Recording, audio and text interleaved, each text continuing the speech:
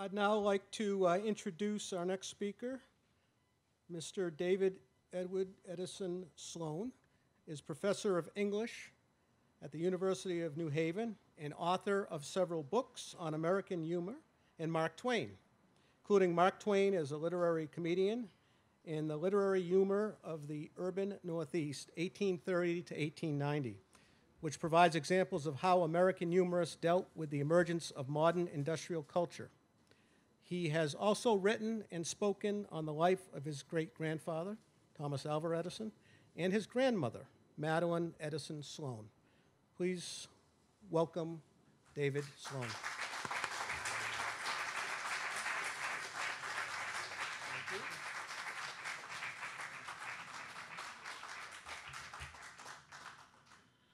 First, it is a great pleasure to meet and to welcome a fellow scholar and a fellow great grandson of an inventor who played a crucial role in the creation of recorded sound, Laurent Scott de Martinville. and our kind ambassador, uh, Catherine Bréchignac, who has already taught me some things I didn't know. Uh, I could not improve upon the information uh, that uh, Laurent and the other speakers will share at today's event, except from my own perspective as a student of American culture, American humor, and Mark Twain, and incidentally, in another way, as a teacher of public speaking at the University of New Haven. One of the observations that is made of Mark Twain's studies is that some Mark Twain scholars forget that Mark Twain was a humorist and that humor is a central component of American culture, just as music is a central component of world culture. And the miracle of recorded sound has allowed the wonders of music to be shared across time and national boundaries as never before in the history of mankind. When Mark Twain's Connecticut Yankee, Hank Morgan, appears in King Arthur's court, courtesy of a knock on the head by a crowbar, he takes inventory among the marvels of modern technology which had not appeared in 528 AD until he invented them the telegraph, the telephone, the phonograph, the typewriter, the sewing machine. By the time Twain published A Connecticut Yankee in 1889, sound recording was already changing the geography of human culture. The model for Hank Morgan, the Connecticut Yankee, was another Yankee by the name of P.T. Barnum. Barnum was an inventive genius of another sort. He invented a Fiji mermaid and humbugged thousands to view the concoction, the torso of a monkey sewed onto the body of a dried fish. In his American Museum, for which he became both famous and notorious. But Barnum's greatest triumph, as told in his autobiography of P.T. Barnum in 1855, also focused on sound, bringing the Swedish nightingale Jenny Lind to America and taking her on tour, making both Jenny Lind and Barnum rich on the proceeds, incidentally. Jenny Lind's voice was a miracle of its time, but we shall never know what she sounded like. Yet we do know that the values of sound, like humor, moved the souls of her audience. A brief clip I play in my public speaking courses illustrates this fact and reminds us as well why we are here. Two very unpromising and unlikely contestants, Charlotte and Jonathan, ages 16 and 17 in 2012, uh, Uh, when the clip was recorded on the television show Britain's Got Talent are the subjects, both singers. Simon Cowell, a contest judge, leans over to his colleague and mutters, Just when you thought it couldn't get any worse. But the outcome was a revelation because those two kids sang beautifully.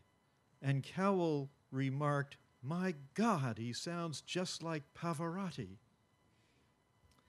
we cannot know what Jenny Lind sounded like, but we can still join together in appreciating the greatness of musical talent we can hear, thanks to the work of de Martinville and Edison, and those who followed both inventors were united in a wave of technology that sought to improve the lives of every one of us.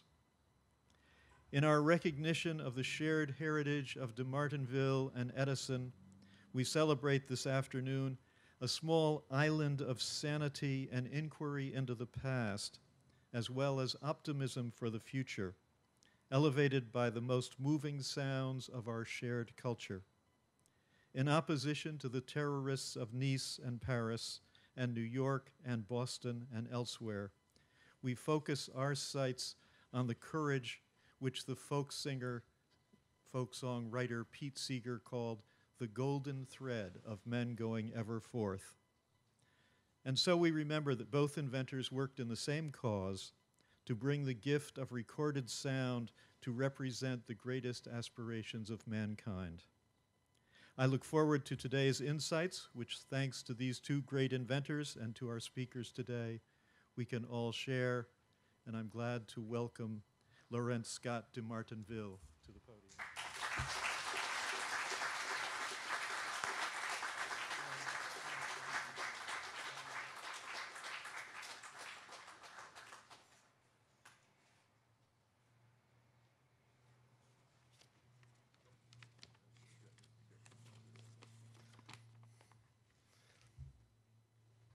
So I would like to thank Her Excellency Madame Bréchignac, the French Ambassador for Science, Technology and Innovation, Secrétaire perpétuelle of the Academy of Sciences of the Institute of France, whose presence at this event is a great honor.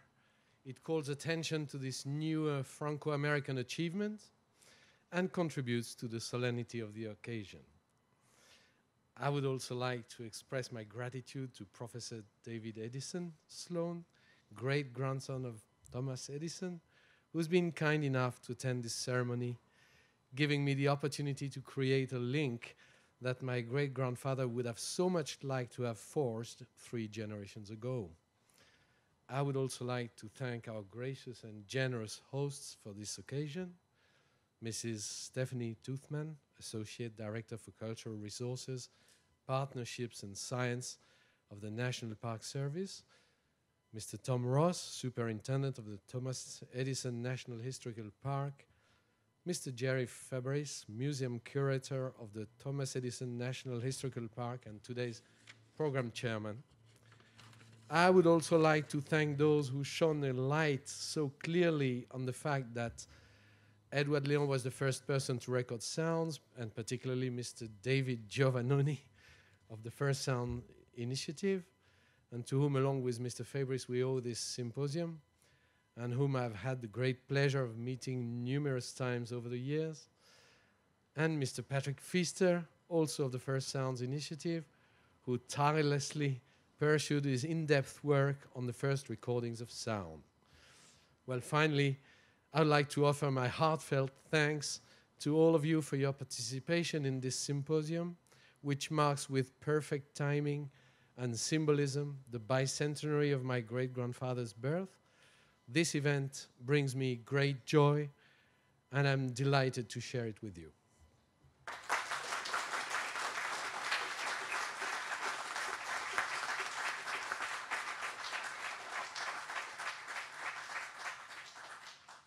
Thank you very much. And um, on behalf of the park and the National Park Service, I do want to thank our uh, first speakers for uh, their wonderful words and um, inspiring opening remarks here uh, today, this afternoon, at our symposium.